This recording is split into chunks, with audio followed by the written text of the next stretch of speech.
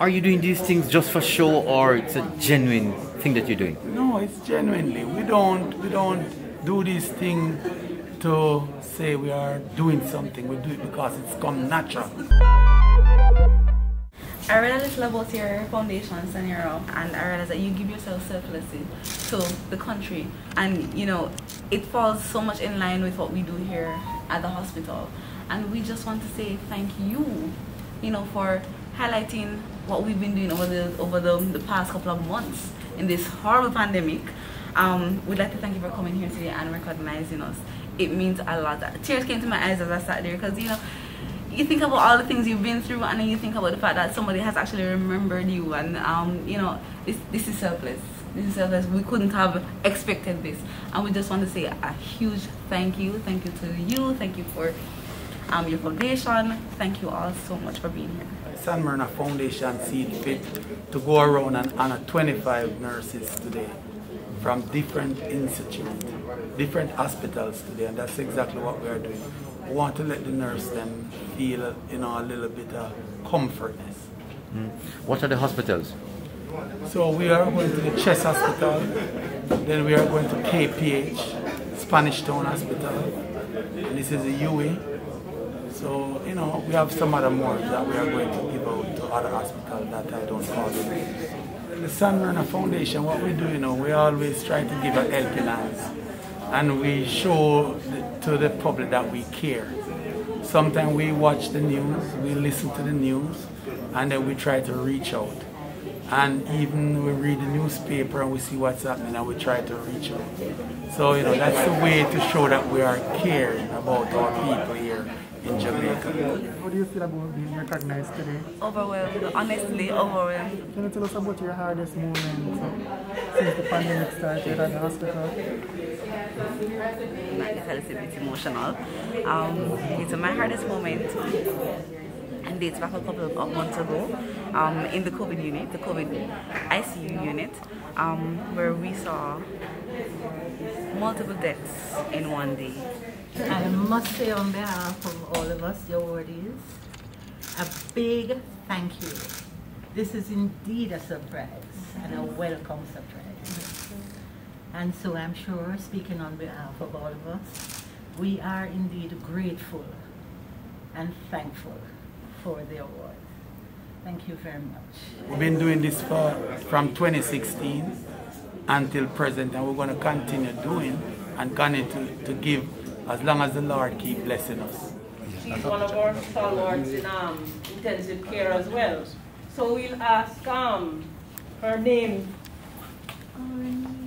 Rennie, her name is um, Reniece Fletcher. and we'll ask Lamoyje to collect for her. You're holding two gifts in your hand. Are yes. you related to the other girl who was kidnapped? Actually, um, we're not sure if we're related, but we treat each other as sisters. So I guess there's that. So when you heard that she was kidnapped, how did you feel? Go make me cry again.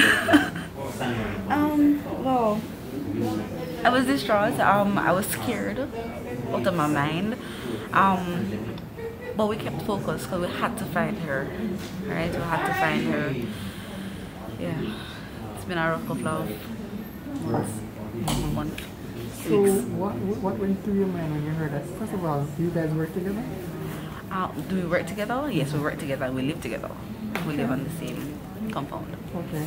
So when you heard that she was missing, what first went through your mind? Um, alright. I was in denial. I said this cannot be true. This cannot be real. Can't be my Rennie's that's missing. What? No, it must be a joke. That's what I said. Yes. The time leading up to the time in which she was found, how was that experience for you? Um, well, it happened quickly.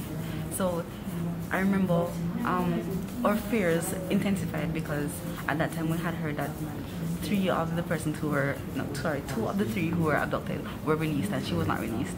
So, you know, we wonder what are they doing with her? Where is she? What's going on? Um, so we were very fearful at that time as to, you know, her whereabouts and what would have happened or what could have happened. Um, and then shortly after, her father, we spoke to her father and he was in tears and he was just like, I just spoke to her. She's at the police station. She's okay. So, you know, It, it was a roller coaster of emotions, I'd say. Yeah. What was it like at work though? How did you guys cope Um, no, that at work, well, thankfully I was off, so I was out looking for her. Um, a few persons, a few persons got off from work um, in order to help with the search. Um, others who were there, it was pensive. When I passed through for a meeting, it was very pensive. You know, everybody was tense, just wondering, okay, what's happening, what's going on, you know, where is she? Um, the work continued. They still focused and continued to work, but it was very difficult for them, I'd imagine. How has she been recovering though? What signs have she shown you? Positive signs or negative signs of recovery? Well, she has had good days and bad days, she has said. Um, she has strong support, a, short, a strong support system, I'd say as well. So, um, I don't know. Her days vary, really and truly. But she's been supported. So how do you guys support her? How do we support her? Talk to her every day, man. Talk to her every day. And, you know, nice her up and something. Um, as well as we give her a space, because, you know, you need to breathe and think. Um. So now that you guys have gotten gifts for pampering, what are you looking forward to? Are you looking forward to going both together or not? Uh, yes, yes, we'll, we'll try and, and go together. Um, our schedules vary a little bit, so depending on how we're able to, we'll try and go together. Just want to say, words can never express the way we feel about you. And, you know, it's just a token of appreciation coming from our heart. And, you know, the persons that support us. And, you know, to know that we have reached out to only five of you, it's never enough. Because there must be a chaos behind the other five. You understand? And we also want to say to those people that we thank them just as much. Sanmerna Foundation, we are quite pleased that you have taken the efforts to recognize and acknowledge the work and the worth of nurses of the University Hospital of the West Indies. We have had a hard-working team. Kudos to them all. We're glad you're on board with us, and we look forward to continue to serve. Thank you.